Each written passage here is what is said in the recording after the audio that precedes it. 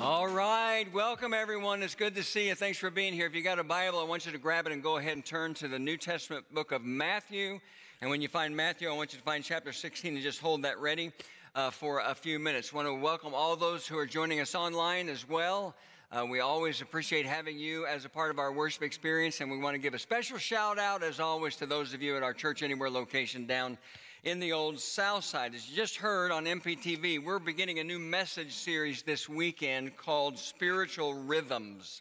And what we're going to do for the next few weeks is look at some of the different spiritual disciplines that have the power to transform our personal spiritual lives. And as we begin, I want to take a few minutes to explain what I mean by spiritual disciplines because I don't want to just assume that everyone understands what I'm talking about. And so here's a definition that we're going to use throughout this entire series. Spiritual disciplines are spiritual practices that lead to spiritual transformation. In fact, that's so important, then I'm going to say it again, but this time I want you to join me. Let me hear your voices. Here we go. Spiritual disciplines are spiritual practices that lead to spiritual transformation. That's what we need to hang on to. See, here's the fundamental truth from the Bible about the Christian life. When you become a Christian, God changes your life by covering you in the righteousness of Christ. That's Christianity 101. That's why Paul wrote these words in Romans chapter 8 and verse 1. He wrote, Therefore, there is now no condemnation for those who are, and this is the key, in Christ Jesus. And what he means by in Christ Jesus is for those of you who are covered by the righteousness of Christ. This is an incredible spiritual truth that we celebrate, or at least we should celebrate every single day of our lives. But while we have this new position of being in Christ or being covered by the righteousness of Christ, the truth is we're still the same person we always were in the sense that we still have the same weaknesses and we still have the same struggles. And so, what the Bible teaches us is that it's God's will for all of us to put our new position of being in Christ, covered by the righteousness of Christ, into practice in the way that we live our lives every single day. And while there are a variety of different ways we can do that, we can put our new position of being in Christ into practice. One of the most important ways to do it is by practicing in our personal lives spiritual disciplines because remember our definition spiritual disciplines are spiritual practices that lead to spiritual transformation. Let's think of it in real practical terms as we begin this series. If I have a new position in Christ that causes God to see me as holy and blameless because Christ is holy and blameless, the question is, how do I put my new position into practice? And, and let me just let me just uh, talk to you about this uh, by using that that that illustration that I have used probably dozens of times over the years uh, that I call the record book of sin. It's not original with me, but it's called the record book of sin. And the record book of sin illustration says just imagine my left hand represents my life. This is me. This is the reality and sum total of who I am. And for a moment, let's just use our imagination and think of my Bible as a record book of every single sin I've ever committed in my life. From the time I was the age of accountability, old enough to be held responsible for my actions, my thoughts, uh, my words, and on and on and on. Every single sin I ever committed is recorded in this book. If you take the record book of sin, you place it on my life, that's all you see. All you see is the reality of my sin. I'm completely covered by the reality of my sin. And what the Bible teaches us is that because God is a holy God, even though He loves me and wants to have a relationship with me, He can't because in this condition, I'm completely covered by my sin, and a holy God can't live in fellowship with a sinful man. We understand that. That's the first part of the gospel right there. But the Bible goes on to say that because God loves me so much, because He loves you so much, He wasn't content. He wasn't willing to let this be the final reality of our relationship. So He came into the world in the person of His Son, Jesus, who was God in human flesh. And when Jesus died on the cross, God literally took all this sin that covered my life and placed it on Jesus, and from heaven punished Him in my place, so that now because of what Jesus has done on the cross, dying to pay the penalty for my sin. When I put my faith and trust in Jesus, I'm no longer covered by my sin, I'm covered by Christ. Somebody say amen to that. That's the good news right there. That's the good news right there. And if you're ever in a situation where you have the opportunity to talk to somebody about what they need to know in order to be right with God, you just tell them that story right there, okay? That's where it all begins. And so the question is in our lives, if I have this new position now in Christ, not in my sin any longer, but in Christ, and in that new position, God sees me as holy and blameless because Christ is holy and blameless. How do I put that new position into practice? And you know what? The answer isn't complicated. The answer is by being committed to living a holy and blameless life. It's just that simple. And spiritual disciplines are powerful resources to help make that happen, to help me, to help you, to help anyone live out the reality of our new position in Christ.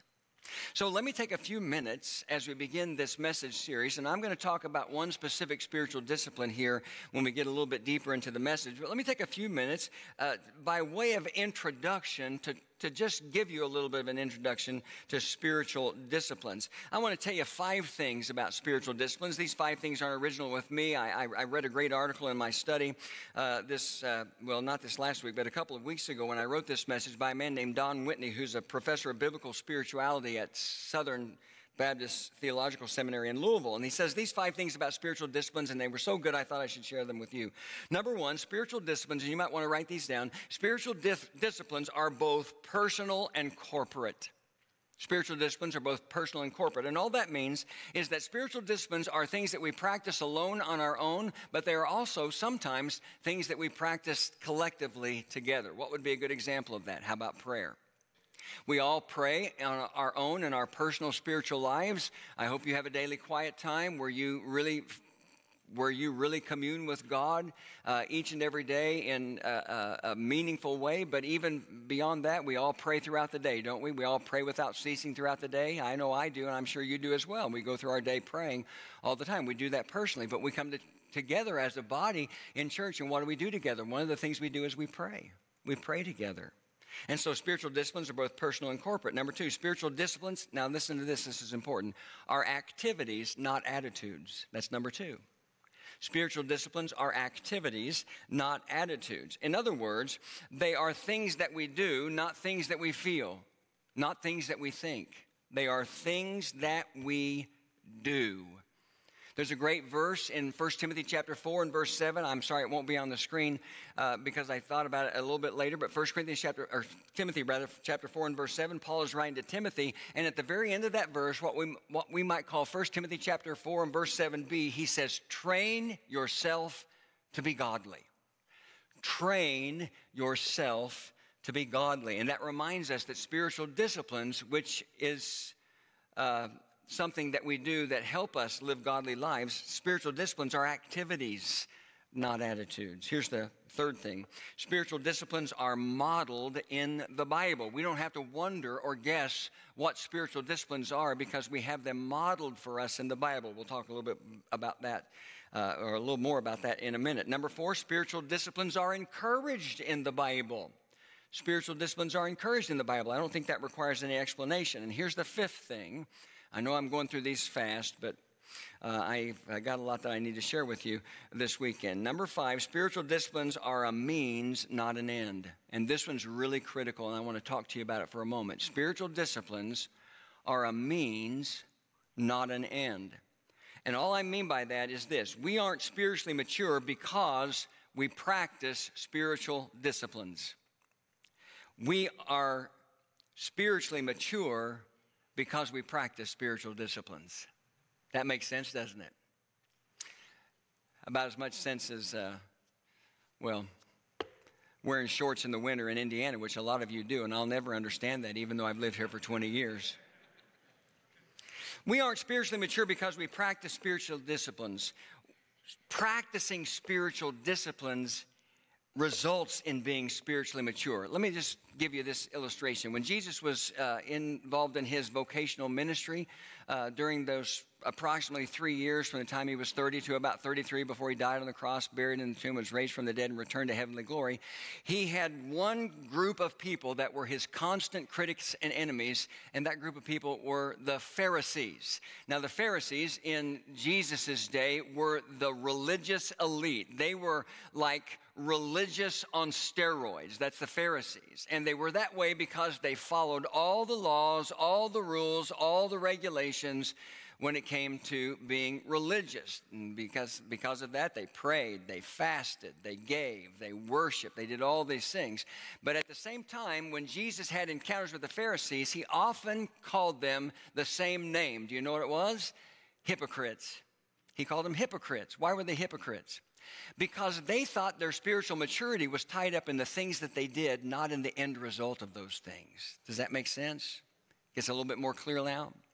You can pray every day of your life, but if praying doesn't change your life, you're not spiritually mature. You can fast, you can give, you can worship, you can do all of the things that you know that you're supposed to do. You can come to church every weekend of your life and be faithful in that. But if church never changes you, if it never gets deep down inside of you and convicts you of what's wrong in your life and directs you to what's right and what's needed in your life, then it's not having any impact on your life. And so that's why we need to understand that spiritual disciplines are a means, not an end. Just because you pray doesn't mean you're a prayerful person in the sense of praying makes a difference in your life. Spiritual disciplines are a means, not an end. And so that's what we need to understand. Now, one of the most common questions that I've always been asked over the years related to spiritual disciplines is how many are there? Pastor, how many spiritual disciplines are there? And the truth is, it depends. If you went home uh, after church and you did a Google search using the question, How many spiritual disciplines are there? you'd get a variety of different answers. By the way, I understand that a Google search is not the best way to answer spiritual questions, but because so much information and materials are online, what you would see are the many different thoughts and opinions of individuals, churches, and ministries about how many spiritual disciplines there really are. When I sat down in my office with my son Andrew, who was just out here to do the communion meditation, and our high school pastor Matt Pineda, who was on MPTV this weekend, to work out the 2022 preaching calendar, we came up with the idea of this message series called Spiritual Rhythms, based on a book written by a man named Richard Foster called Celebration of Discipline. Maybe you've heard of that book, maybe some of you have read it before. It's all about spiritual disciplines. And in the book in the book Celebration of Discipline, Richard Foster identifies 12 different spiritual disciplines. At the same time, you can find lists as short as five or as lengthy as 20. And so here's the deal I'm not ever going to get caught up in the pursuit of what the exact right number is when it comes to spiritual disciplines, uh, are, and you shouldn't either. I just gave you a definition of spiritual disciplines. Spiritual disciplines are spiritual practices that lead to spiritual transformation. And I also gave you five things that you need to understand about spiritual disciplines that, that kind of identify or qualify what really are spiritual disciplines. One of those was spiritual disciplines are modeled in the Bible. And so that's what we need to remember when we try to determine how many there are and what is and what isn't a spiritual discipline. So if you came up to me after service and said your favorite dis- spiritual discipline was gardening, I would just look at you and say, listen, I, that's not a spiritual discipline. I don't want to be rude. I don't want to be condescending, but gardening is not a spiritual discipline. And you could look at back, back at me with great sincerity and you could say something like, I don't know what to tell you, Pastor. Reading and the, studying the Bible does it for you when it comes to spiritual growth, but gardening does it for me. And I would respond by saying, Show me that in the Bible. Now, I could back up my belief that reading and studying the Bible is a spiritual discipline. I could go to 2 Timothy chapter 2 and verse 15, where Paul says, Do your best to present yourself to God as one approved, a workman who does not need to be ashamed, who correctly handles the word of truth. I could go to 2 Timothy 3:16 where Paul writes and says all scripture is God-breathed and useful for teaching, rebuking, correcting and training in righteousness and I could go to others. But you can't find a verse like that in the Bible about gardening. And so while I don't have a single thing against gardening other than I don't want to do it, the Bible does not give us examples of gardening as spiritual as a spiritual discipline. Just think of it like this if everything is a spiritual discipline, nothing's a spiritual discipline. How many of you know what I'm talking about? If everything is a spiritual discipline, then nothing is a spiritual discipline. And while gardening might make you feel closer to God because you're outdoors and you're dealing with God's creation, it's not a spiritual discipline. Remember our definition spiritual disciplines are spiritual practices that lead to spiritual transformation. And this spiritual transformation, friends, is something that God is so very serious about. Spiritual transformation in your life and mine is a big deal to God. The Bible talks about it a lot. Let me give you an example. Look at these words on the screen from 1 Peter chapter 2 and verse 2. Peter writes and says, like newborn babies, crave pure spiritual milk, note this, so that by it you may grow up in your salvation. And friends, that is a great description of spiritual transformation, growing up in our salvation. Understanding that through our faith in Christ, God now looks at us as holy and blameless in Christ because Christ is holy and blameless. And so now we want to grow up in that by living on a practical level each and every day of our lives a life that is holy and blameless. That's growing up in your salvation. That's spiritual transformation. How about these words on the screen from Romans chapter 12 and verse 2? This is a familiar verse. Paul says, Do not conform any longer to the pattern of this world. Then he says, But be transformed. Everyone say transformed. Transformed. This is what God wants for all of us. This is a part of his universal will for all believers, in, this, in that it's the same for you as it is for me. He said, But be transformed by the renewing of your mind. Then you will be able to test and approve what God's will is, his good, pleasing, and perfect will. And we renew our minds through the Word of God. And as we renew our minds through the Word of God, we become more and more in touch with what the will of God is, not just for our lives, but in every part of life. Now, I could cite more verses, but I hope you get the picture about what we're talking about with regard to spiritual disciplines and the role they play in our personal spiritual transformation. When you became a Christian, God gave you a brand new life. Somebody say amen to that. Paul wrote in 2 Corinthians 5 17, he said, Therefore, if anyone's in Christ, he's a new creation. Remember what he said? He said, The old is gone and the new has come. And that word new there in, in the original language is not a word that means new in the sense of time, because you can't go back and start your life over again. It means new in the sense of quality. The quality of your life has changed. And God sees you as holy and blameless in Christ because Christ is holy and blameless. And now what God's expectation is for you as a Christian is that your life begins to reflect the reality of the new life that He's given you. And one of the best ways for that to happen is through the practice of spiritual disciplines that lead to spiritual transformation. Now, I'm going to stop there when it comes to the introduction of this series on spiritual disciplines, and I'm going to talk to you about one discipline in particular this weekend that I think is not just important, but I think it's foundational to all of the spiritual disciplines. I'm going to talk to you about the spiritual discipline of submission. And I'm going to talk to you about the spiritual discipline of submission because Jesus, who is our model, who is our model in every part of life, lived a life of submission. In fact, let's look at these words on the screen from Philippians chapter 2, verses 5 through 8. This is a great passage of scripture, surely one of our favorites. Paul says, Your attitude should be the same as that of Christ Jesus. Now, note this who, being in very nature God, did not consider equality with God something to be grasped, but made himself nothing, taking the very nature of a servant, being made in human likeness.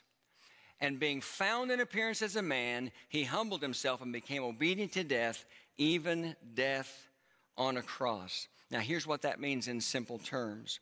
When Jesus came into the world, he voluntarily laid aside the privileges of his heavenly position and of his authority as God, because remember, Jesus was God the Son. We, we believe the Bible teaches there's one God who exists at all times in three persons God the Father, God the Son, and God the Spirit. And so when Jesus came into the world, he voluntarily laid aside the privileges of his heavenly position and his authority as God in order to come into the world and identify with man, to identify with people like you and me, and that's what it means, or that's what Paul is talking about when he says in that passage of Scripture in Philippians 2 that Jesus made himself nothing. He made himself nothing. And the reason why Jesus did that was his submission to God the Father. Jesus was willing to lay aside his heavenly position, his heavenly privileges, and his heavenly authority and become one of us because of his submission to God the Father and his plan to provide the opportunity for forgiveness of sin and a brand new life for ordinary people like you and me.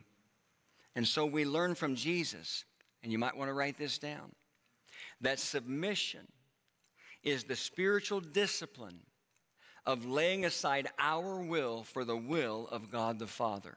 Let me say that one more time. We learn from Jesus that submission is the spiritual discipline of laying aside our will for the will of God the Father. And here's something that we need to understand about the will of God the Father His will is always right, His will is always perfect, and His will is always focused on what's best for you. And that brings us to Matthew 16. That's a long introduction, wasn't it? But that brings us to Matthew 16. So, if you got your Bibles open there and you're able, go ahead and stand with me and we're going to read some scripture together. Matthew chapter 16, and this is a pretty familiar passage of Scripture. Matthew chapter 16, we're going to read verses 21 through 26. You follow along as I read. From that time on, Jesus began to explain to his disciples that he must go to Jerusalem and suffer many things at the hands of the elders, chief priests, and teachers of the law, and that he must be killed and on that third day, or on the third day rather, be raised to life. Peter took him aside and began to rebuke him. Never, Lord, he said, this shall never happen to you. Jesus turned and said to Peter, Get behind me, Satan. Boy, those aren't words you want to hear from Jesus. Somebody say amen to that. We don't want to hear those words from Jesus.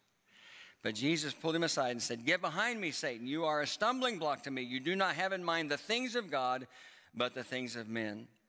Then Jesus said to his disciples, If anyone would come after me, he must deny himself and take up his cross and follow me. For whoever wants to save his life will lose it, but whoever loses his life for me will find it.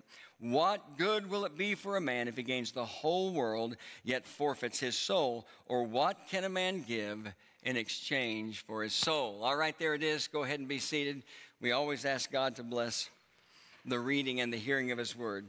I know uh, that this is a familiar passage of Scripture, but let's talk about it for a few minutes. I don't know if you remember this or not from uh, a few years ago when we were going verse by verse through the Gospel of Matthew, but when we got to this passage of Scripture in our study of Matthew that we called Let's Talk About Jesus, I told you that this passage marked a shift in the earthly ministry of Jesus.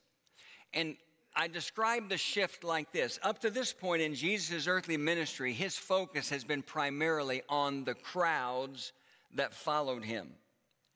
But when we get to this passage of Scripture, he shifted his focus from the crowds to his disciples. And the question is what caused that shift? Well, what caused that shift is what happens just before this passage, and you can either look back in your Bible or turn the page back in your Bible. It's what happened in Matthew chapter 16 when Peter made what we call this great or good confession related to Christ. Remember, Jesus and the disciples were in an area called Caesarea Philippi.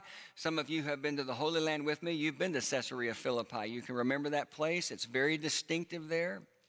And Jesus was there with the disciples and he asked them, Who do men say that I am? And after a few wrong answers, remember, Peter speaks up. And in Matthew chapter 16 and in verse 16, he says, You are the Christ, the Son of the living God. And that's what signaled the shift. Because when Peter said, You are the Christ, the Son of the living God, then Jesus knew in that moment that Peter and all the disciples for the first time really understood exactly who he was. And so he turns his attention away from the crowds. He didn't ignore the crowds completely, but for the most part, he turned his attention away from the crowds and began to focus on the disciples because he wanted to prepare the disciples for what they were going to face, what they were going to need to do once he was gone. It was a great moment for Peter. Remember, Jesus went on to say, Blessed are you for flesh and blood didn't reveal this to you, but my Father in heaven revealed this. He said, And you are Peter, and on this rock I will build my church, and the gates of Hades will not prevail against it. But in the spirit of the truth that you very rarely have the good without the bad in life, how many of you know that's true? Peter's mountaintop moment didn't last very long. And we just saw that. In Matthew 16 and verse 21, after Jesus tells the disciples that he's going to Jerusalem, and when he's in Jerusalem, he's going to suffer many things. He's going to be killed, and he's also going to rise from the dead. Peter is listening to all this, but Peter, probably feeling a little bit cocky from his recent success, decides he doesn't like that plan. It doesn't sound good to him. And so in Matthew 16, 22, he pulls Jesus aside and he says, Never, Lord, this shall never happen to you. And in reply, Jesus says those words Get behind me, Satan. You are a stumbling block to me. Now, note this because you do not have in mind the things of God, but the things of men. And friends, there it is. Because you don't have in mind the things of God, but the things of men. There it is.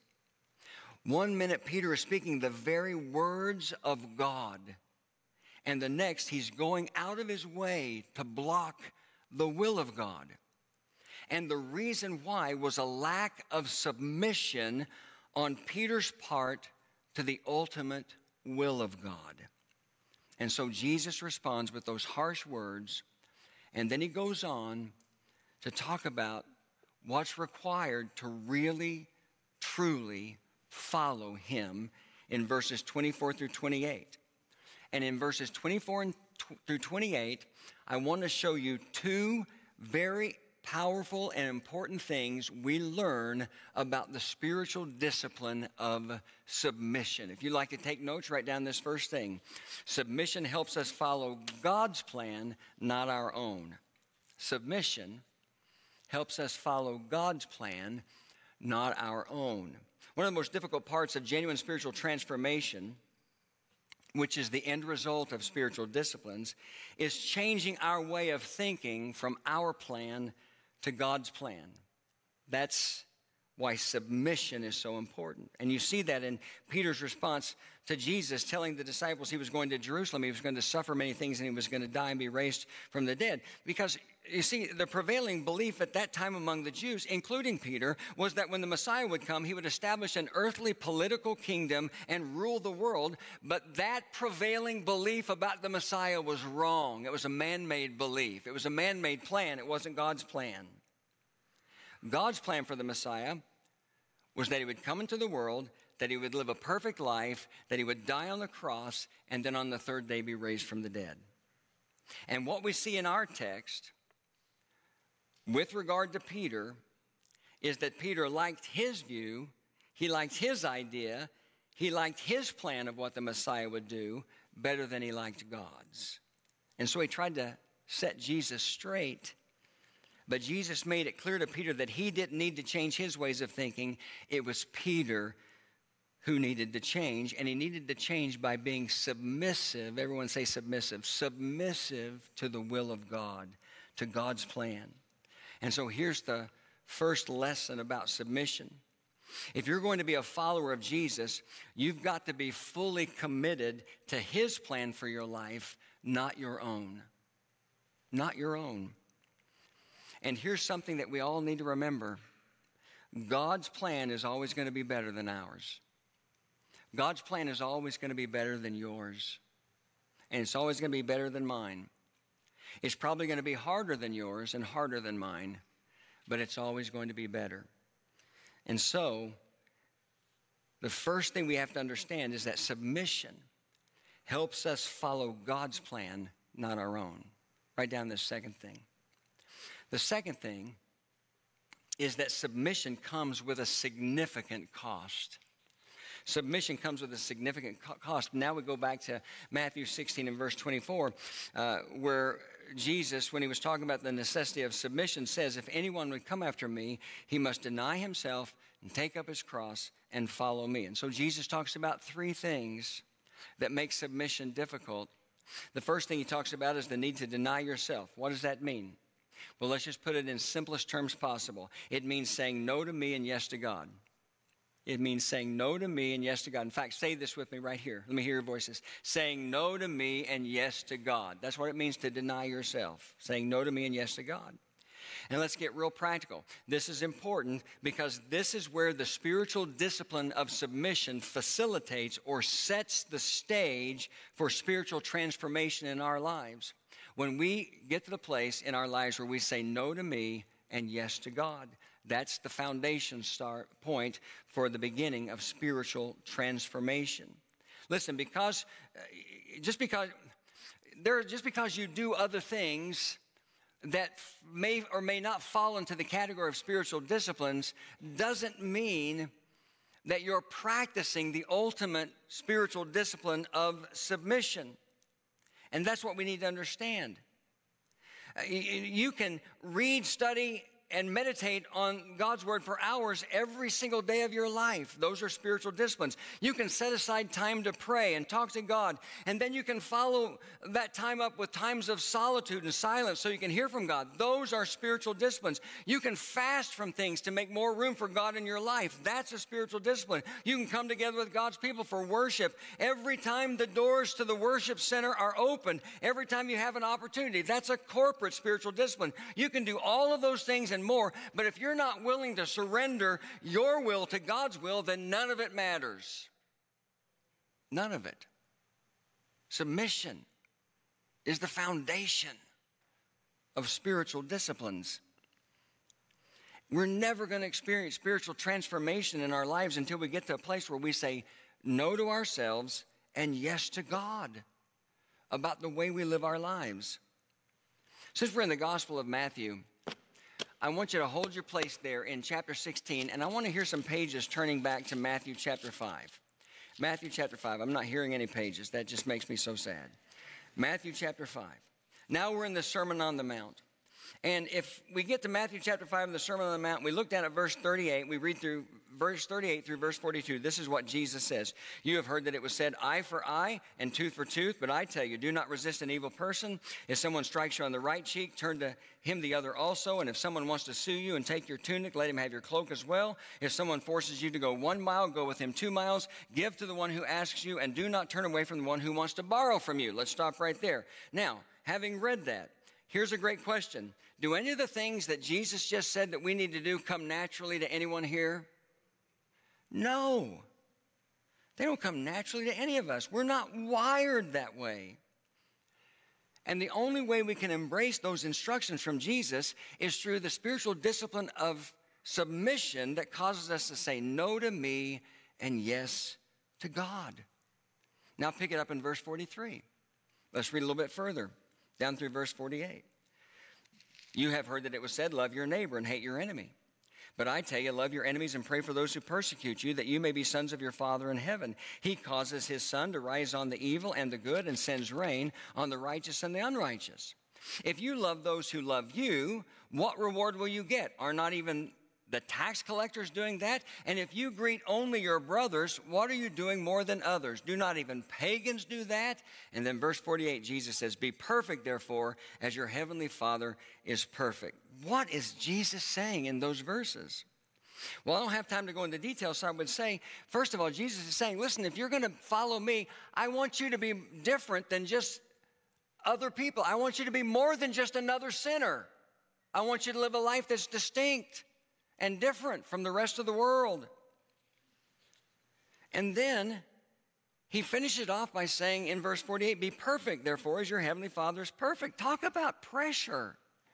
Be perfect as your heavenly Father is perfect. Let's just think about that for a minute because, you know, when I think about that verse, that verse has always troubled me a little bit because I, I, I read those words and I think about my life and I think how much of a miserable failure I am to live up to Jesus' words when he says, Be perfect therefore, as your heavenly Father is perfect. So I want to understand that verse. And when I study it, there are two ways you can look at it, at least from my perspective.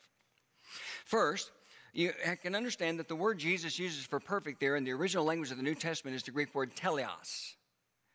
And the Greek word teleos is one of those words that's multifaceted uh, in that it has multiple meanings depending on the context. And one of the meanings that that word teleos can have is the meaning of complete or mature. Well, I like that. I'm, i mean, that's going to be a struggle for me already, but I like that better than perfect. And we are, we are talking about spiritual transformation. We are talking about uh, growing in our lives to be more complete and more mature. And so that makes sense. That's one way to look at it. The second way to look at it is that we understand because this Greek word teleos has, is a multifaceted word, which means it has multiple meanings depending on the context, we understand that one of the meanings is exactly the way it's used in my NIV Bible, in our English Bibles, as perfect. Jesus is talking about perfection. And honestly, as much as I want to gravitate to the first meaning, this is probably the more accurate meaning here because what he said in Matthew 5:48 is be perfect therefore as your heavenly Father is perfect. And God is perfect in every way. He's not just complete, He's not just mature, He's literally perfect. And so, how do we understand that in regard to our lives and the growth that God wants to see in our lives?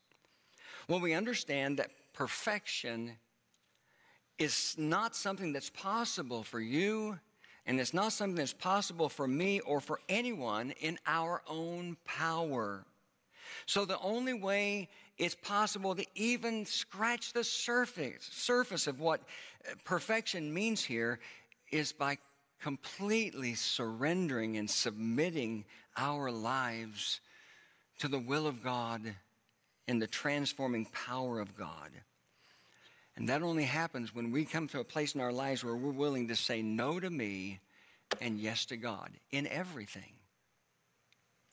Second thing he told us to do is to take up our cross. He said, Deny yourself. And said, Take up your cross. Sometimes you'll hear people talk about some difficulty that they're going through in life, and they'll say, I guess that's just my cross to bear. You ever heard somebody say something like that? Maybe you've said something like that.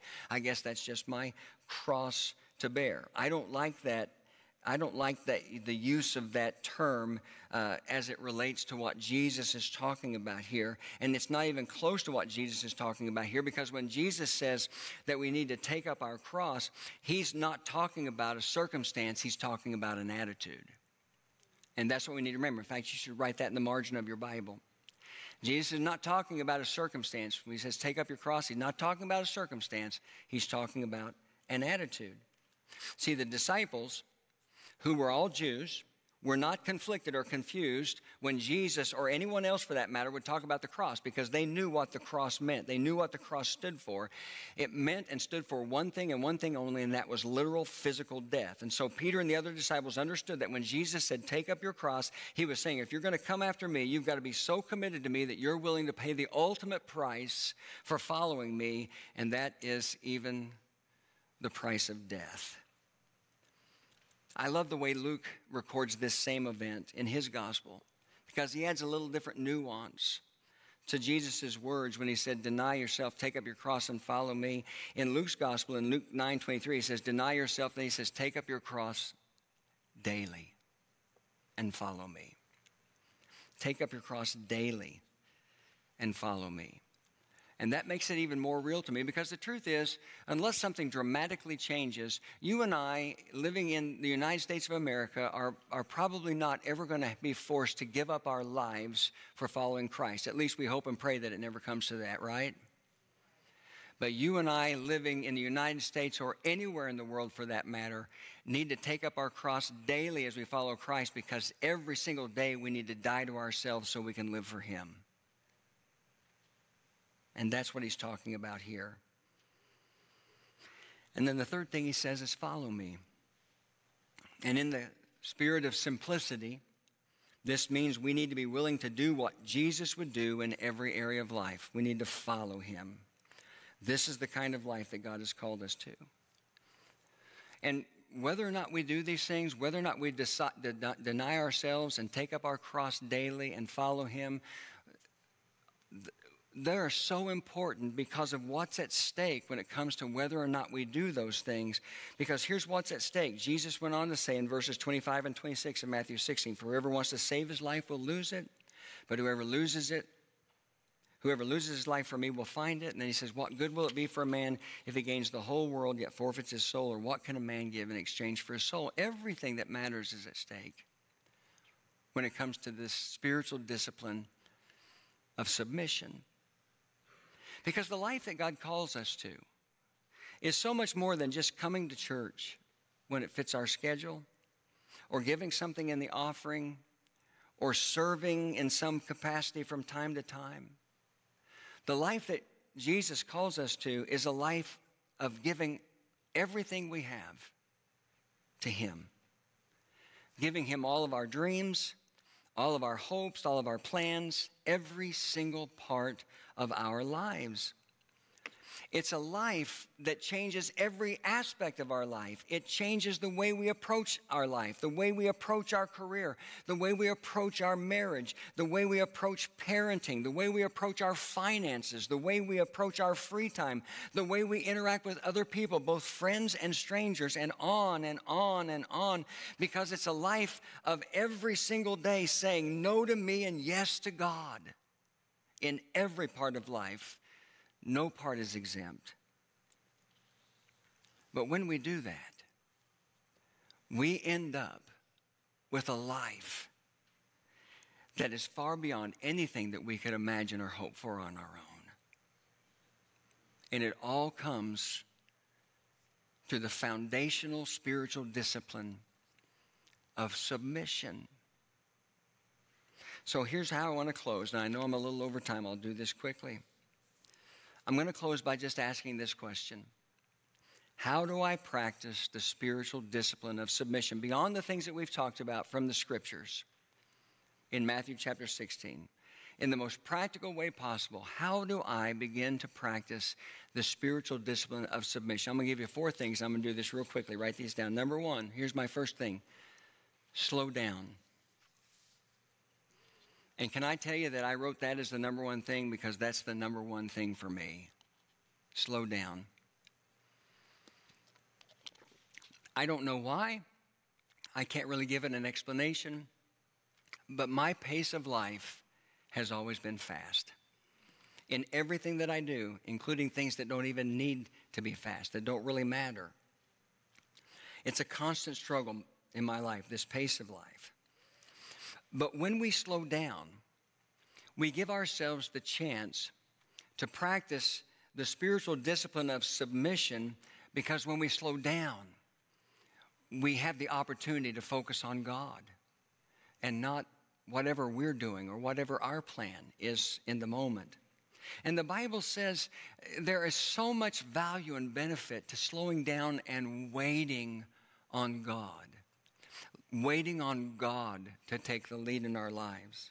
Psalm 27 14 says, Wait for the Lord, be strong and take heart, and wait for the Lord. Psalm 33, verses 20 through 22 say, We wait in hope for the Lord. He is our help and our shield. In him our hearts rejoice, for we trust in his holy name. May your unfailing love rest upon us, O Lord, even as we put our hope in you. Isaiah 40, 31 says, But those who wait for the Lord shall renew their strength. They shall mount up with wings like eagles. They shall run and not be weary. They shall walk and not be faint. We need to slow down. Slow down so we can give God his proper place in our life, which is out front, leading every part of our life. Number two, write this down speak less, not more. Speak less, not more. One of the things Jesus said in the Gospel of Matthew that really strikes my heart is for out of the overflow of the heart, the mouth speaks. That's Matthew chapter 12 and verse 34. For out of the overflow of the heart, the mouth speaks. Let me ask you a question Have you ever regretted something that you've said? Have you ever regretted something that you said and then tried to defend it or apologize, apologize for it by saying something like this Listen, that's not really who I am? You know what the truth is? That really is who you are. That really is who I am, at least on some level. It might not be all that I am, but on some level, that really is who I am. I'm the person who spoke those words that I wish I could take back. You're that person as well. One way to practice the spiritual discipline of submission is to simply speak less, not more, as we continue to pursue a life that reflects the character of Jesus. Think about the trouble we would save ourselves. Think about the, uh, the lessons we would stop learning the hard way. Think about how closer we would be to God and the person God wants us to be if we, kept, if we stop making so many mistakes with our words. Proverbs 13, uh, 10 17 says, Where words are many, sin is not absent. Boy, is that true. Proverbs 13 3 says, He who guards his lip guards his life, but he who speaks rashly will come to ruin. Number three, look for ways to honor others above yourself.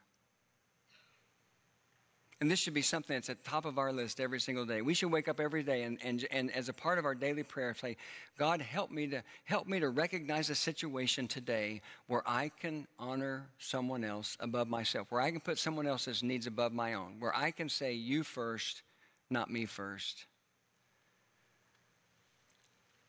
Paul said in Philippians 2 3 through 4, do nothing out of selfish ambition or vain conceit, but in humility consider others better than yourselves. Each of you should look not only to your own interests, but also the interests of others. And here's number four write this down. Every day we should pray these words from John the Baptist. John the Baptist words. John chapter 3 and verse 30, when he said this about Jesus, he said, He must become greater, I must become less. The spiritual discipline of submission is captured in those words. He must become greater, I must become less. Pray with me. Father in heaven, thank you so much for a chance to talk about these things. This is so important, and I'm, I know I've gone a little over time uh, trying to introduce the series as well as talk about this particular discipline, but I pray that your Holy Spirit would really take all of these truths and apply them to our hearts. We want to be pleasing to you. We want, to, we want our lives to reflect the life of Jesus. We want to experience the, tra- the spiritual transformation that you want us to experience. There's a lot of ways to do that, but at the top of the list would be spiritual disciplines, and they all begin with the spiritual discipline of submission, where we say, No to my will and yes to yours in every part of life. Help us to do that. In Jesus' name we pray. Amen. Let's stand together and sing.